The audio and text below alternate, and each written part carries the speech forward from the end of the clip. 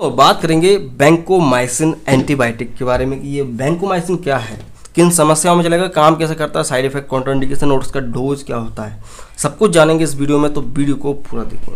शुरू करते हैं। दोस्तों, बैंकोमाइसिन। ये जो बैंकोमाइसिन है, आपको मार्केट में टैबलेट के फॉर्म में मिलता है और इंजेक्शन के फॉर्म में मिलता है। 500 मिलीग्राम का टैबलेट भी आता है और इंजेक्शन भी आता है। ठीक है, ये एक ग्लाइकोपेप्टाइड एंटीबायोटिक है। ठीक है ग्लाइकोपेप्टाइड में आगे समझाऊँगा आपको। तो पहले समझो इसके ब्रांड नेम्स कि बैंकोमाइसिन मार्केट में किन किन नाम से मिलता है। कुछ फ़ेमस ब्रांड नेम है, जैसे कि फोर स्टाप इंजेक्शन आता है बेनलेड इंजेक्शन आता है सिप्ला कंपनी का आता है लगभग बैंकोग्राम बैंको जैन एल्केम का आता है, ये सब इसके फ़ेमस ब्रांड नेम्स हैं। तो ये होता है क्या? बैंकोमाइसिन जो कि एक एंटीबायोटिक है। तो ग्लाइकोपेप्टाइड बोल रहे हैं तो यहाँ पे आपको समझना पड़ेगा कि ये काम कैसे करता है। तो जब काम करना समझ में आ जाएगा तो फिर आप इसका यूजेज भी समझ जाएँगे।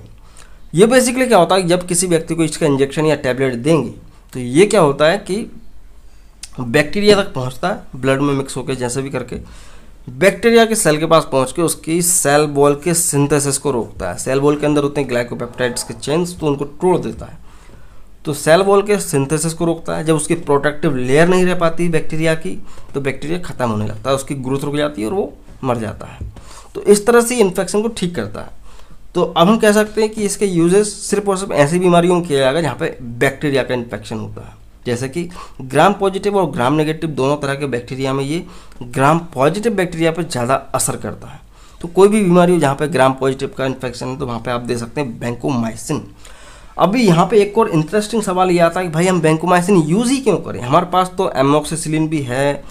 There are so many antibiotics in penicillin group तो हम इसको इस्तेमाल क्यों करें? क्योंकि भैया, जब एमोक्सिसिलिन काम नहीं करता किसी बीमारी में, तभी तो इसको दिया जाएगा ना। तो एमोक्सिसिलिन जब काम नहीं कर रहा पेनिसिलिन काम नहीं कर रहा तो फिर बैंकोमाइसिन दिया जाता है। तो एक प्रकार का ये इनका सब्सिट्यूट बोल सकते हैं कि भाई, जब काम नहीं चल रहा तो इससे काम चलाना पड़ता है। तो देखो ग्राम पॉजिटिव ग्राम नेगेटिव में काम करेगा। मैनेंजाइटिस मैनेंजाइटिस वीडियो बनाया, वो देखना। ब्रेन के अंदर सूजन आ जाती ठीक है? एंडोमेट्रियोसिस में भी दे सकते हैं एंडोकार्डियाटिस में दे सकते हैं, या बोन एंड जॉइंट के इन्फेक्शन में, हड्डियों के जॉइंट्स में इन्फेक्शन हो जाता है। सॉफ्ट टिश्यू इन्फेक्शन में भी चलाया जा सकता है, ठीक है? अगर कोई छोटा मोटा चोट है, कहीं पर घाव है तो वहाँ पर भी चला सकते हैं। कोलाइटिस आंतों में इन्फेक्शन हो जाता है। दबाते हैं तो आदमी जो चिल्लाता है, बहुत तेज तेज, कहीं ना कहीं इन्फेक्शन हो जाता है आंतों में। तो उसमें भी इसको इंजेक्शन को लगा सकते हैं या तो टैबलेट दे सकते हैं, ठीक है? सेप्टिसेमिया सेप्टिसेमिया वीडियो बनाया, मैंने वो देख लेना आप। ठीक है सेप्टिक हो जाता है। अपना शरीर खुद को ही ख़त्म करना शुरू कर देता है।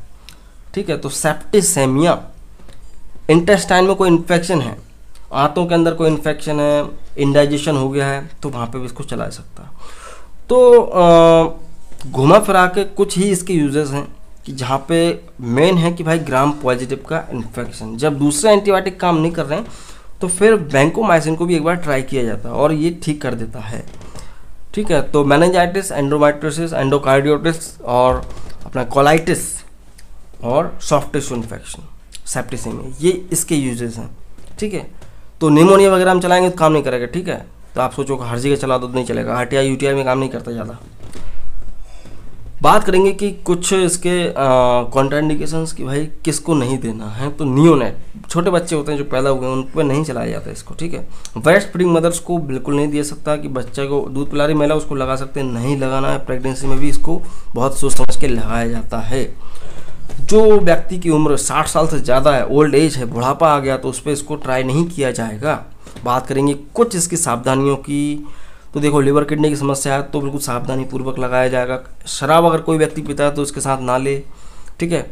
ये है इसकी कुछ सावधानियाँ। बात हाँ ड्रग इंट्रेक्शन का पूछते हैं आपके भाई। ड्रग इंट्रेक्शन क्या क्या हो सकते हैं? दूसरी दवाइयों के साथ क्या असर देगा? तो ज़ाहिर सी बात है, आप जब इसको इस्तेमाल करेंगे तो आपको पता होना चाहिए कि टोब्रामाइसिन अमिकासिन जेंटामाइसिन इनके साथ इसको नहीं देना है। ठीक है? टोब्रामाइसिन अमिकासिन जेंटामाइसिन ये दूसरे एंटीबायोटिक सोचो क्या आपने बैंकामाइसिन का इंजेक्शन लगा दिया और ये टेबलेट खिला दो। नहीं करना है। टॉक्सिक इफ़ेक्ट देखेगा, ठीक है? दूसरी बीमारियों में क्या होता है? दूसरी दवाइयों के साथ ये इफ़ेक्ट को कम कर देते हैं। लेकिन ये टॉक्सिक इफ़ेक्ट दे सकता है। तो इन दवाइयों के साथ नहीं इस्तेमाल किया जाएगा। बात करेंगे कि साइड इफ़ेक्ट क्या होगा। तो साइड इफेक्ट्स नॉर्मल से हैं। किडनी की समस्या हो सकती है। किडनी डैमेज हो जाएगा, ठीक है? किडनी डैमेज हो जाएगा। नॉर्मल तो नहीं कह सकते, हालाँकि इसको अपन तो किडनी डैमेज इसका थोड़ा सा सीवियर साइड इफ़ेक्ट है। उसके अलावा रेड रेसेस पड़ गए वोमिटिंग उल्टी वगैरह हो गई, बुखार बुखार आ जाएगा, पेट में दर्द होने लगेगा, यही इसके कुछ नॉर्मल से साइड इफ़ेक्ट होते हैं। बैंकोमाइसिन का डोज क्या होता है? देखो टैबलेट की बात की जाए तो 500 मिलीग्राम सुबह शाम दी जा सकती है, ठीक है? 500 मिलीग्राम सुबह शाम दी सकती है, तीन से चार दिन तक। तो जो भी इन्फेक्शन है वो कवर हो जाता है। इंजेक्शन की बात की जाए तो इंजेक्शन इंट्रावीनियस लगता है वन ग्राम का। इंट्रावीनियस लगता है, वन ग्राम का, वो भी ड्रिप में लगा के, बॉटल में भरना पड़ता और धीरे धीरे धीरे धीरे करके एक घंटे में चढ़ाना रहता है, ठीक है? Hundred M L N S में मिक्स करा जाएगा इसको और फिर धीरे धीरे धीरे धीरे ट्रांसफ्यूज़न होगा, इन्फ्यूज़न होगा, ठीक है? इन्फ्यूज़न चढ़ाया जाता है। तो ये भी सात दिन तक, दस दिन तक करना रहता है। इतने में डॉक्टर्स को रिज़ल्ट अच्छे मिल जाते हैं। छोटे बच्चों की बात की जाए तो इनमें भी 10 मिलीग्राम पर केजी बॉडी वेट के हिसाब से इसका डोज रहता है। ठीक है, बच्चा जो है 10 किलो का है मान लो, और पाँच छः साल का है सपोज़ तीन चार साल का है तो 10 मिलीग्राम पर के जी बॉडी वेट के हिसाब से अगर उसकी वेट 10 ग्राम 10 किलो है तो 70 मिलीग्राम उसको लगेगा।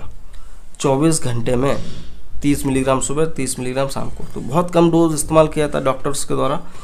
तो आई होप आप समझ गए होंगे बैंकोमाइसिन क्या है, इसकी हाफ़ लाइफ भी जान लो, चार से छः घंटे की हाफ़ लाइफ होती है बायोबिलिटी जो है, चौवन परसेंट की बायोबिलिटी होती है। तो वीडियो अच्छा लगा तो प्लीज़ से लाइक करें, नए हमारे चैनल पर तो प्लीज़ चैनल को सब्सक्राइब करें, जिससे मुझे मोटिवेशन मिलता है और आपको मिलेंगे वीडियो के नोटिफिकेशन ठीक है?